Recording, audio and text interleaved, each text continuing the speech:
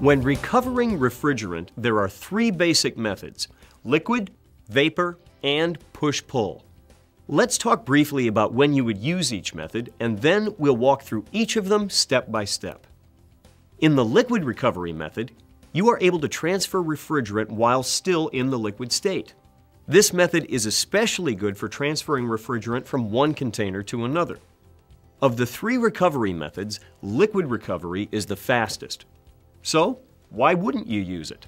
Because it's simply not possible with all HVAC systems. In those cases, you'll have to use the vapor recovery method.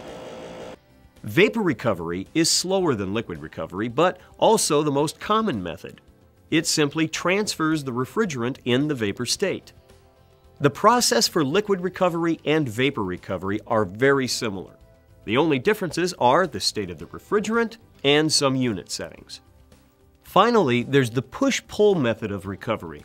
Push-pull quickly removes liquid refrigerant, but it's a two-step process.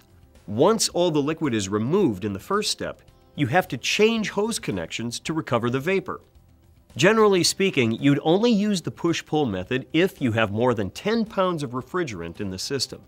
Push-pull is not recommended if the system is a heat pump or is one with a reversing valve.